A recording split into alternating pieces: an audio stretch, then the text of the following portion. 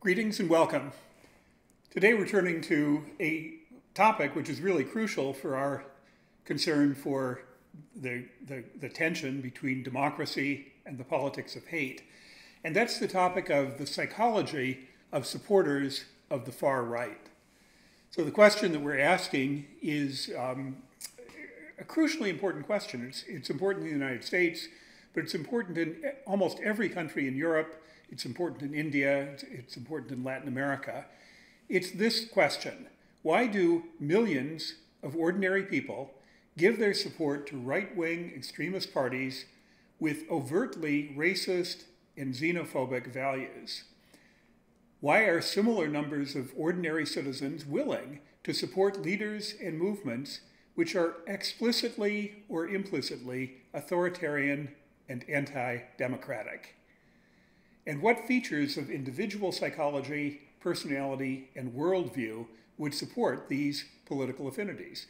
In a sense, we've been grappling with this question since uh, the very beginning of the course, and we're taking a um, kind of an empirical approach uh, in the readings that you've done for today. The approach we're taking comes from the field of uh, empirical personality psychology. And personality psychology is a field of research which attempts to understand some very basic features of human motivation and behavior. It gets its origin in the observation that people are not all the same in their behavioral responses to common life situations. There are important variations across individuals with respect to their behavioral dispositions. In general, we could say that the ingredients of action include beliefs, cognition, uh, the way that we process our beliefs, emotion, values, stereotypes, and mental frameworks. But notice that those categories of uh, practical cognition apply to everyone, and therefore they don't really explain individual differences. Whereas personality psychology tries to dig in a little deeper and tries to um, account for the fact that different individuals, sometimes different individuals in different cultural settings, um, have different propensities or dispositions uh, to behavior. And unlike behaviorism, which was current in the first half of the 20th century, personality psychologists are perfectly happy to investigate mental characteristics, thoughts, and modes of reasoning. So there is a theory of political behavior which um, derives from that abstract list of categories which I mentioned in the previous slide. And it is most often expressed within the idea of rational choice theory. So, a lot of political science, uh, especially in the United States, is founded in the idea of rational choice theory. And this is the theory that people make rational decisions based on their beliefs and desires, and then they choose candidates, they choose policies, they choose the things which they invest their political energies and their actions in on the basis of what they expect will work best for advancing their goals and desires. And so, to take a, just a, a very simple example, um, if we assume that the primary concern that people have is to have the highest material standard of living, living possible, and they believe that politicians, political leaders, um, through their policies can influence one standard of living, then the inference would be rationally the um, party or the, the candidate who can make the strongest case that he or she uh, will bring about the greatest likelihood of a high standard of living, that's the person who will gain political support. And remember the slogan which Bill Clinton had, which of course you don't remember, but I remember it's the economy, stupid. That kind of depends on this theory of rational choice. But it turns out, and I think we've seen lots of evidence of this, political behavior is not wholly rational. It's not wholly means end rational, and people do not always act in their narrow self interest. On the positive side, we can say that there are um, forms of collective action. Uh, there are people who come together to uh, advance um, things which they think are in the public interest or um, in the good of uh, the people or the, the groups of people with whom they identify. There are features of loyalty and commitment which affect political behavior. And there are also currents of ideology and passion which influence people's behavior. And as we've seen, some of those currents lead to support for right wing, authoritarian, and racist causes. So the, the question then is whether there are personality traits which are influential in determining political behavior, or if not determining, then um, influencing political behavior. There's an interesting article I didn't ask you to read, which is called The Secret Lives of Liberals and Conservatives from 2008, which is asking the question, just a really very basic question. If we divide population between people who characteristically vote liberal and people who characteristically vote conservative, are there personality traits as defined by uh, standard measures, standard um, uh, research instruments, which distinguish between those two populations? And the authors of this article um, argue that there are, in fact, relatively stable individual differences in psychological needs, motives, and orientations towards the world between the two political groups, liberals and conservatives. And they provide evidence based on psychological experiments that demonstrate a strong association between a bundle of personality characteristics that liberals share and a different bundle shared by conservatives. They write in um, explaining their article, we address three main questions. First, does political orientation co-vary with basic psychological dimensions in the ways that have been suggested? Second, what specifically are the differences as well as similarities between liberals and conservatives in terms of personality profiles and dispositions, and how strong are they? Third, if there are indeed meaningful psychological differences between liberals and conservatives, how are they manifested in daily behavior? And what they argue, um, and it's not a, an a priori argument, it is an empirical argument based on their study of studies, their study of personality studies of this question. They argue that the strongest psychological evidence supports the dimension of open mindedness versus closed mindedness. Now, I emphasize again, these are not concepts which were drawn in order to make the distinction between liberals and conservatives. Rather, these are more general uh, concepts which have been developed in personality psychology as one out of, or uh, one dichotomy out of many for um, characterizing individual personality differences. Two quotations here. Numerous studies have shown that liberals tend to score higher than conservatives on individual difference measures of openness, cognitive flexibility, and integrative complexity. And Conservatives tend to possess stronger personal needs for order, structure, closure, and decisiveness in comparison with liberals.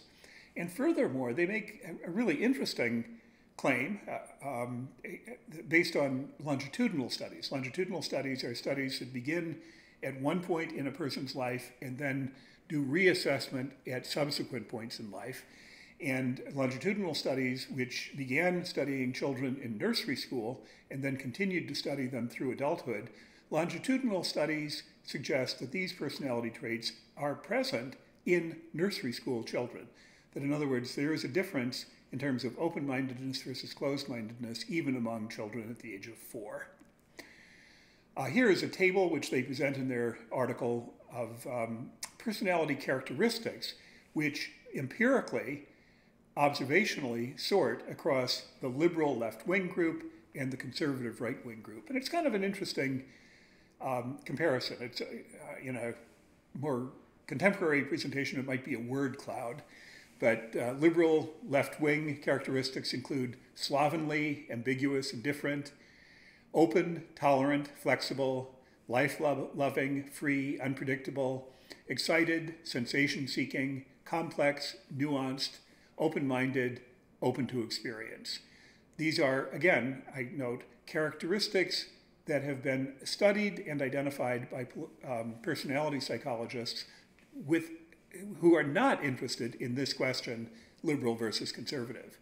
And then the uh, traits associated with conservative um, individuals definite, persistent, tenacious, tough, masculine, firm, rigid, intolerant, conventional, ordinary, careful, practical, methodical, withdrawn, reserved, stern, cold, mechanical, self controlled, moralistic, closed minded, conscientious.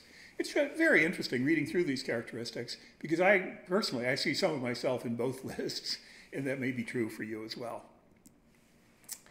Uh, this, this, is uh, the last little bit I'd like to take out of this article. In the three studies employing very different methods of observation, we have obtained consistent, converging evidence that personality differences between liberals and conservatives are indeed robust, rep replicable, and behaviorally significant. This is a, a very significant um, finding for empirical social psychology or personality psychology.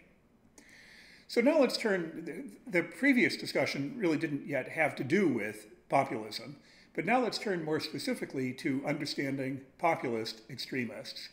And we've, we've already been exposed to two theories from personality psychology which appear to be relevant to understanding the personality profile of supporters of extreme right populist movements. And these two theories are social dominance orientation and right wing authoritarianism disposition. And these are also two distinct research traditions, communities within personality uh, psychology, within social psychology, which have developed over multiple decades. Um, the right wing authoritarianism uh, tradition began right after World War II and um, developed around the question of is there an authoritarian personality? And the work has been very interesting and has continued to develop for a period of now 70 years. These researchers have developed what personality psychologists live for, and that is testing instruments to measure various attributes in ordinary subjects. In other words, take a questionnaire, and um, then the, um, the questionnaire is evaluated for validity and interpersonal validity, then a bunch of individuals, often college students because they're available research subjects, are sorted by the, the cluster of uh, characteristics which they um, share with some others and uh, do not share with others. So let's talk about the right wing authoritarianism scale. Um, the primary developer of current versions of right wing authoritarianism measurements is Bob Altemeyer, uh, who is a research um, academic psychologist and one of the founders of right wing authoritarianism theory. Uh, he developed an instrument for measuring an individual's propensity for authoritarian thoughts and actions. This is um, a really important instrument, I think. This is the RWA scale, and its methods, uh, the, the, this method has received widespread adoption and use. Uh, quoting uh, from the article that you read, the right wing authoritarianism scale measures the degree to which people defer to established authorities, show aggression toward outgroups when authorities sanction that aggression, and support traditional values endorsed by authorities. Just think about that definition um, from the lens of the empirical phenomena that we've been talking about, which you've learned from Mudde, for example, about right wing politics and populism the um, deferring to established authorities, aggression towards outgroups when sanctioned by authorities, and supporting traditional values when endorsed by authorities. This maybe sheds some light on how important the relationship is between individual followers' behavior and the messages and communications which are issued by leaders. Here's a quote that um, I think is a, an important one from the article that you read. Right wing authoritarianism as currently measured, is an individual difference variable that assesses attitudes concerning three co-varying facets derived from Adorno's original work. He had nine dimensions, and um, the, the three which are measured here are authoritarian submission, authoritarian aggression, and conventionalism. In other words, RWA measures the degree to which people defer to established authorities, show aggression towards outgroups when authorities sanction that aggression, and support traditional values, especially as endorsed by authorities. That's the, um, the, the definition of the RWA scale. The RWA scale, now again, a quote from the article that you read, is an individual difference variable that assesses attitudes concerning three co-varying facets, authoritarian submission, authoritarian aggression, and conventionalism. We can ask, and probably the, the important thing to emphasize here is that when this questionnaire is administered to random groups of individuals, there is a sorting of indi individuals into groups, into individuals who score high on the RWA scale and those who score low. In other words, these characteristics are not randomly distributed. So where do these personality traits come from? That's an important question, which we'll return to in a couple of minutes. But are they innate individual differences, the way that some people are maybe more outgoing than others as a result of something innate that they inherited from their parents? Or are these differences the consequence of early childhood experiences or early social experiences? Uh, do children who grew up in kibbutz in Israel, do they have different personalities with regard to RWA characteristics than children who grew up in, um, um, I don't know, a different environment in Norway, let's say. Though that would be an interesting empirical question. I don't know of a study which, um, uh, which illuminates that question. But we can also ask, do these traits persist over time and do they even get more distinct over time? Now let's turn to the other major theory, which seems to be important and relevant. This is called social dominance orientation. The social dominance orientation scale was introduced by Jim Sidanius, who was a social psychologist and African American social psychologist at the University of Michigan for much of his career in the 1990s, and is presented in the article that you read. Like RWA theory, this theory also has experimental instruments that have been tested and validated in multiple contexts. In other words, um, SDO theory is not a philosophical theory, it's not an a priori theory, it is instead an empirical instrument of personality research. And it identifies the attitudes that individuals share who believe in group superiority and a positive valuation of social inequalities. And it has been used to understand the persistence of racist attitudes and behavior in American society. I won't read this abstract, but it's, um, it gives a good description of what social dominance orientation theory uh, involves. Um, basically, one's degree of preference for inequality among social group, groups. On the basis of social dominance theory, it is shown that men are more social dominance oriented than women. High SDO people seek hierarchy enhancing professional roles, and low SDO people seek hierarchy attenuating roles. C, SDO was related to beliefs in a large number of social and political ideologies that support group based hierarchy, for example, meritocracy and racism, and to support for po policies that have implications for intergroup relations, for example, war, civil rights, and social programs. Uh, this is all from the article that you read from Sidanius and, and others. And the theory, again, I'm quoting now from that article, the theory postulates that, theory, that societies minimize group conflict by creating consensus on ideologies that promote the superiority of one group over another. Ideologies that promote or maintain group inequality are tools that legitimize discrimination. So, in other words, um, the authors in Sidanius have made an effort to link the personality attributes to a broader theory of how various societies work and how social dominance is one of the tools which um, turn out to be uh, common in various kinds of social organization. We can ask the interesting question, are these assessment tools, is SDO um, in particular, are these tools and these traits of personality, uh, um, are they comparable across cultural settings?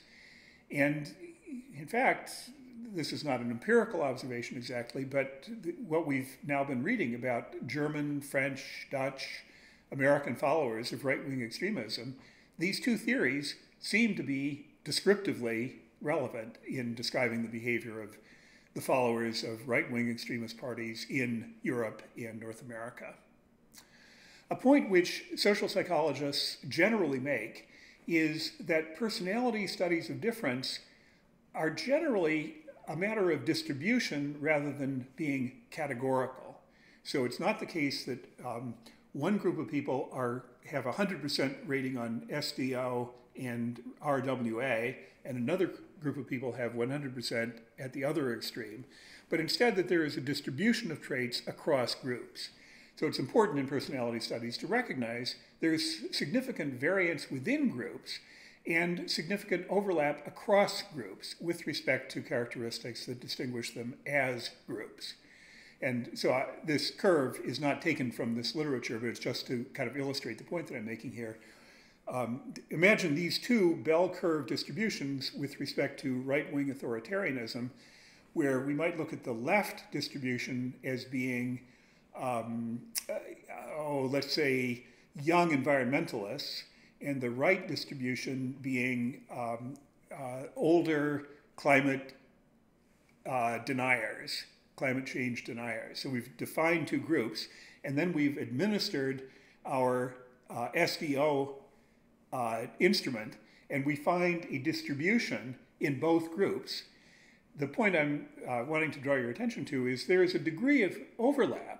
So some in the uh, environmental activist group, uh, some who have uh, SDO ratings which are higher than the SDO ratings, or the RWA, I guess I was imagining, uh, ratings of individuals in the other group. In other words, this is not a dichotomous um, uh, distribution.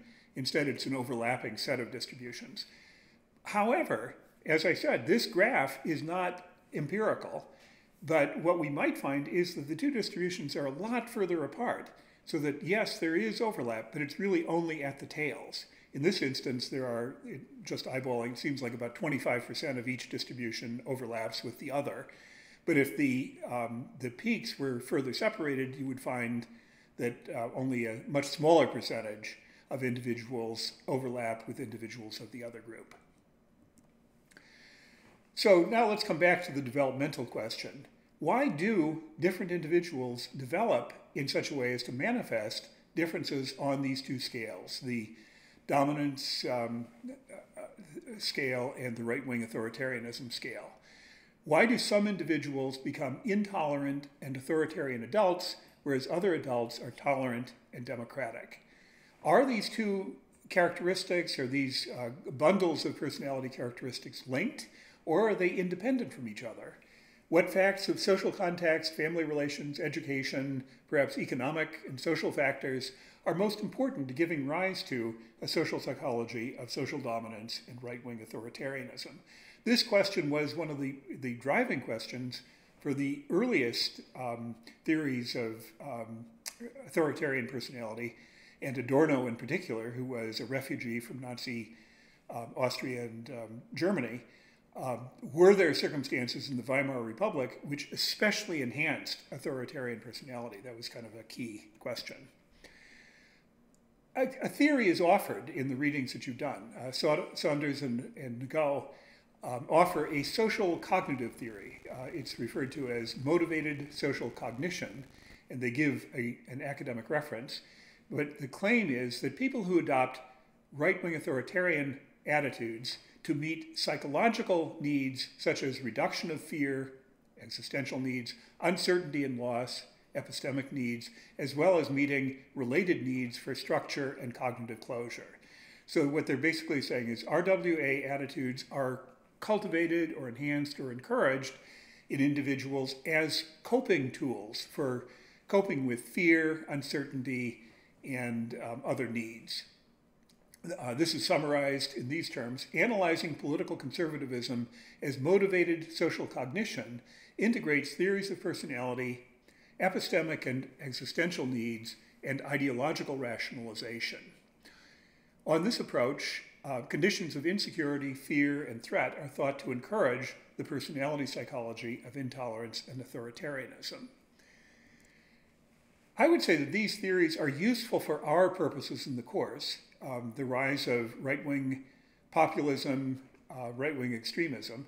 These theories are helpful. Um, I'm not taking them as um, you know, established with certainty, but they're helpful in terms of our ability to think through why is there so much widespread support for right-wing authoritarianism and uh, racist extremism. These theories are helpful because they address the fundamental puzzle. Why do ordinary people adopt the political values of racial superiority, disregard of the rights of minorities, and openness to authoritarian leaders? And one part of an answer might be suggested by the theory of, you know, kind of fear and loss um, represented in the previous slide, because the precariousness of certain parts of the populations, Western Europe, North America, um, issues of uh, threat, fear, and uncertainty arising from terrorism, shifting demographic balance, consequences of globalization, all of these sources of uncertainty and fear may be all it takes to trigger this toxic and intolerant form of personality in an extensive portion of the population of these countries. This suggests, it's suggestive for us, I hope we'll have some conversation about this, that the theories of authoritarian personality at the individual level and the political entrepreneurship at the political level may go a long way to explaining the scope and depth of right wing populism in liberal democracies today. But the discussion may also suggest a remedy, which is to reduce fear, to increase trust, and to reduce the forms of uncertainty which possibly trigger an inclination towards right wing authoritarianism.